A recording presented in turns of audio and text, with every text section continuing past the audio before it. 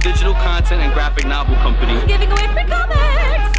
What's cool about each of these comics is that they come with a Touchcode card.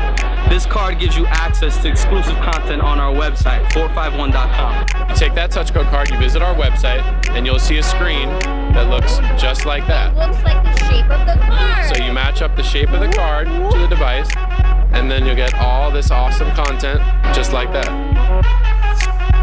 We can pull people into the story further with the look, the feel, the sound, and of course, great Hollywood.